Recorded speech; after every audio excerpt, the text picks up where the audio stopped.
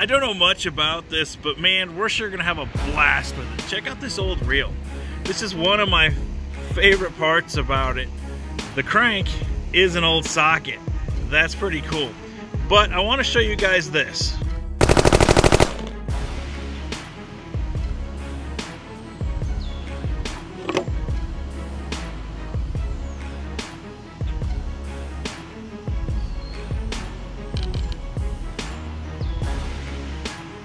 Check out my whip. This thing has some really, really good action. Man. Bam! My buddy was at an auction the other day and picked up this fly rod and he gave it to the channel. How cool is that? This will be my very first fly rod. This is a Shakespeare. This is an eight foot. I'll give you a fly over it right now.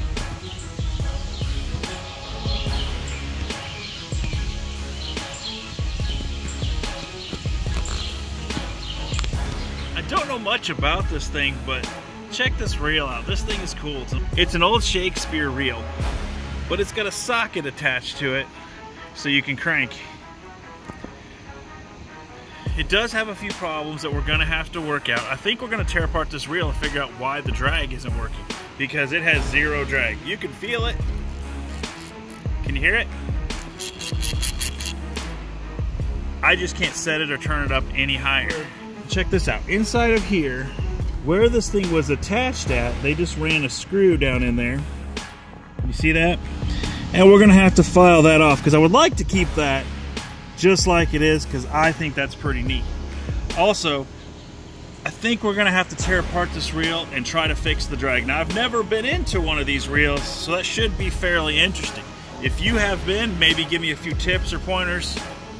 Hit me up in the comments. Let me know the best way of going about it. I know we can pick up a different reel, but man, sometimes it's fun just to tinker with some stuff and make it back into perfect condition again, or as close as we can get it. As far as reeling this thing goes, check this out. It reels nice. It has a lot of potential. It has a really nice whip to it, as you could have probably saw in the beginning of this video. So there's a lot of potential here with this thing. I say we get her back in working shape. What do y'all think? Or do you think it's just like a big waste of time and just pick up another reel? Let me know. Looks like he's playing rock band.